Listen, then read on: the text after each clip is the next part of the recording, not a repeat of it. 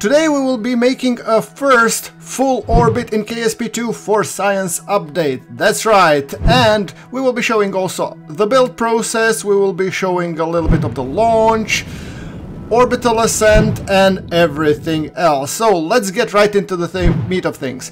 We start our journey in the mission control where we our task is to orbit Kerbin for a total reward of 75 science.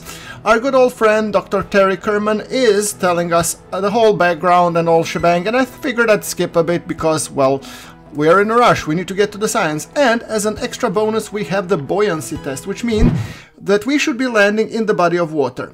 So, from the previous mission, which we did, if you didn't check the previous episode, I'm gonna paste in the links below, we have the 183 science and we have we will be unlocking orbital rocketry. Then I'm thinking I'm gonna go probably with probes because probes I really need because uh, those will be going further anything else. Then we have struts. Struts are kind of important because when it comes to struts we do want our rocket not to wobble too much. Then I'm thinking moon landing because that is kind of important because of the large tanks and the landing the legs a little bit later. And that leaves us with 33 science, so we can only grab a couple of uh, beginner nodes. And I'm thinking introductory construction because that will give us some decouplers and it will also give us launch clamps, which are highly important. And then for the last one, I thought specialized decoupling. Alright, getting into the building meat of things. We're gonna build the the regular, you know, ascent vehicle. And that includes the Science Junior, parachutes, capsule, drogue chutes, obviously, and we're gonna take the, another radial chute because last landing didn't end up so well. It really hit down and completely destroyed the Science Junior, losing us a little bit of science. So, uh, Alright, now that we're gonna put a decoupler engine, and of course we're gonna take the Terrier engine, because that one is highly efficient, and in terms of uh, going into the orbit, it has low thrust, but very high delta V. Then we're gonna be taking the solar panels, and obviously what you're seeing is we are doing a really accelerated build, because I don't want to waste your or my time either. So, there we go, antenna to, for transmitting things, then if we go, we're gonna be placing the SAS module so that we can turn and control our rocket above. I was actually thinking to put these small landing legs because I thought it would be kind of cool that we land on Kerbin if we get to uh, land landing. Then we're talking about the ascent stage. This will be the stage that will be hopefully circularizing. We do need a little bit more of delta V, so if we look, the total delta V is 2.6. That's not good enough. I think we need a bit more. But then again, I'm thinking we're gonna be placing this and can this lift? Now it's thrust weight 1.24 and that's for vacuum, so that's not good enough. What I'm thinking is we want to be placing this. And this is important because then we can have a double decoupler. So we can at the bottom have two swivels. You know what they say, two swivels are better than one.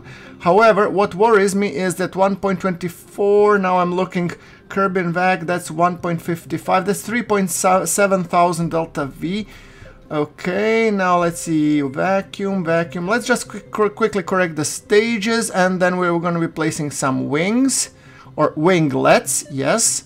Those seem to be working quite nicely, good just to check to see that everything is okay and uh, we're gonna be placing the launch clamps which are gonna be launching this assembly onwards. That being said, I do want to pack struts because struts will make the rocket solid.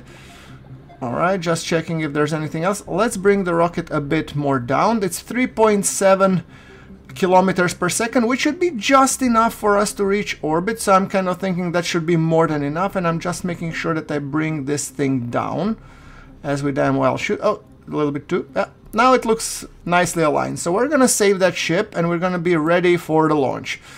To me, this looks good, and rather than Valentina, I'm gonna select Tim C. Kerman because Valentina sneaks every single time. So now, if we go into engineer's report, it's missing RCS. Kerbin vacuum, no, I don't want vacuum, I want atmospheric. And then we see that it's 1.3 kilometers per 1.3 thrust to weight. So if we put place it like this, it's 1.5 with the, with the delta V still being the same. I think this will actually work. Alright, let's save that and overwrite and let's go. our launch is getting ready and we have some science pending so I'm gonna need to press the science as well but let's first hit the launch there we go and decoupling the boosters. So you will notice that I didn't have launch clamps on my first stage because well the rocket engines do need a little bit to spool up. And uh, we pressed that almighty research button to get some extra science.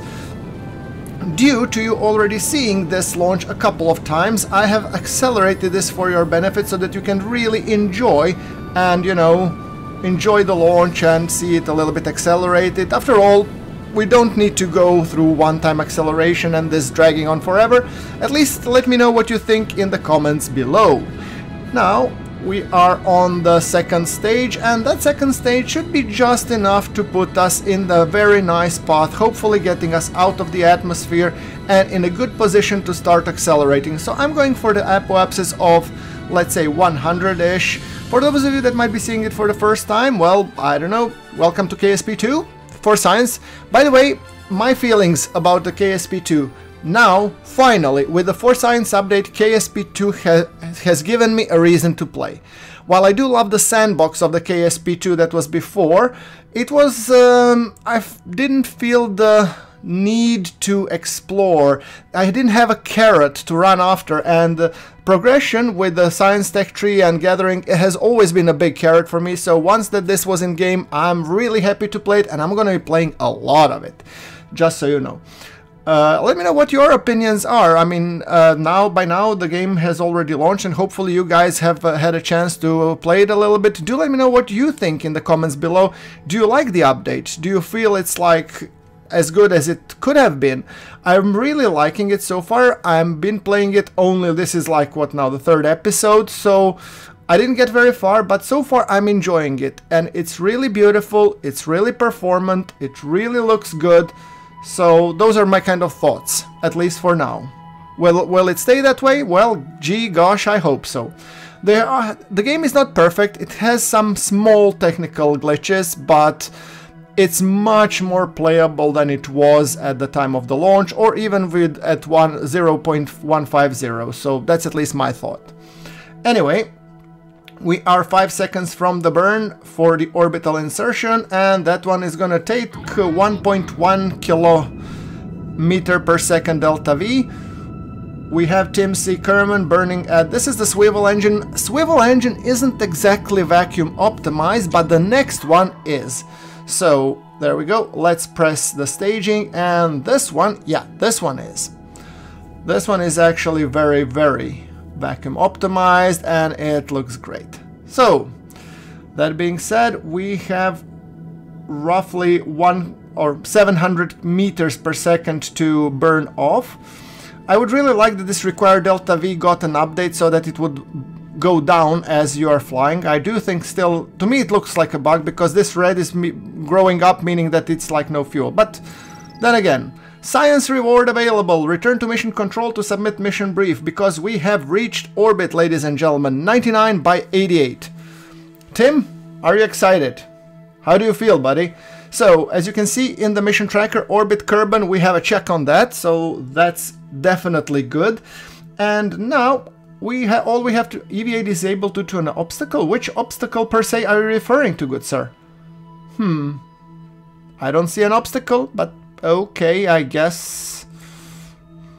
Okay, so speaking of that, uh, let's now go and check out how we're gonna do the buoyancy test, because that one is the secondary mission, which means we should be aiming to land in the body of water on Kerbin.